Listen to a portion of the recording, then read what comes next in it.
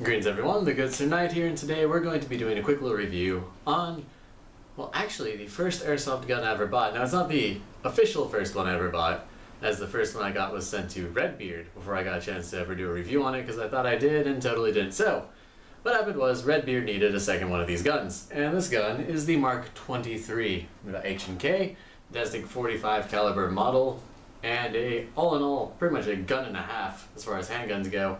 Price is looking to be in the hundred hundred dollar range, so about ten thousand yen or so. But we're gonna take the suppressor off.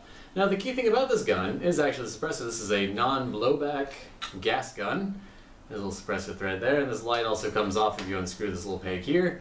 But yeah, so it's actually relatively loud without the suppressor, and the suppressor actually does a fantastic job at keeping the gun quiet.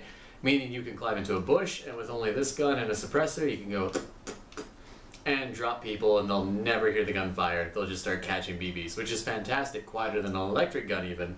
So with all that being said, we've got the gun mechanism here. I actually got the camera down here because we got a target we're going to be shooting. So you got your hammer, which locks back. Your safety here, which can only be engaged when the hammer is locked back. And you've got your slide catch, although the slide shouldn't be moving at all. It's if you want to. And let's see if we actually pull the slide back there.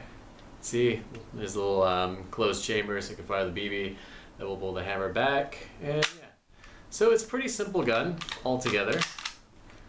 Makes a little noise when you're not using it. You can put batteries in here, it'll turn on a small light that's activated with the thumb here.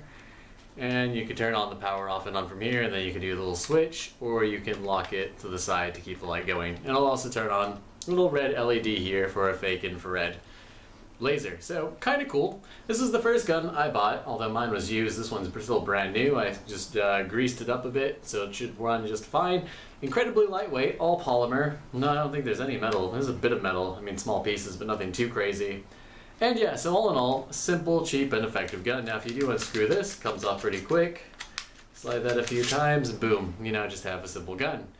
And this is your little light mechanism. Pretty simple, forward to the point. This part just slides off. Your batteries go in there. Slide that back on. You can swap it out with other lights if you so desire. But yeah, screw that back in real quick. Let's see if I can get this to... Yeah, this should just slide. Yep, and you can put your batteries in there. There's a battery release little tab here. And it takes 3 AA. So there you go. 3 AA, and you're all set. Go back on properly.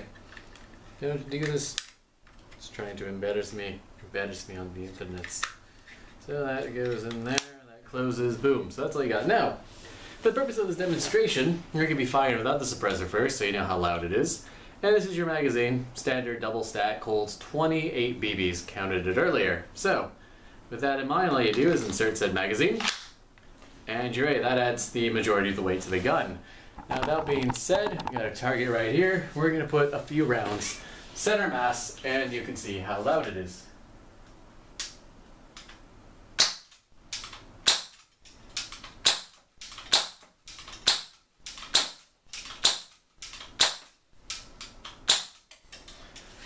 Okay, so you can see the gun has a bit of a crack to it, and we are indoors, so it's even a bit more amplified.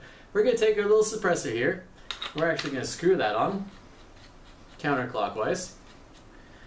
And now we have the true purpose of this firearm. Absolutely silence, especially over a distance and with ambient noise. Gun that's going to do some damage with high accuracy. Again, Tokyo Marui.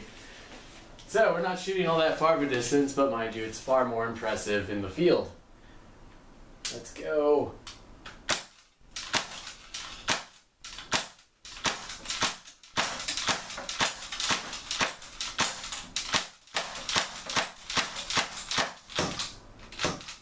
And it makes just a normal thunk when it's of BBs. So, that's all there is to it.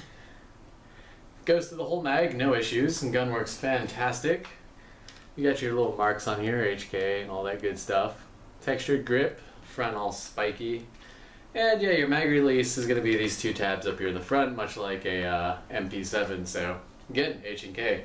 So, that's all there really is to this gun. Very simple, very sweet, very to the point absolutely fantastic. Now getting a holster for it is really where your trouble's gonna come. You're probably gonna end up using a more old school classic holster to event to prevent the magazine release from releasing. So fantastic, quiet, 28 round gun of death for your entertainment. So if you're going on those stealth missions and you simply cannot be heard, this is going to be my recommendation.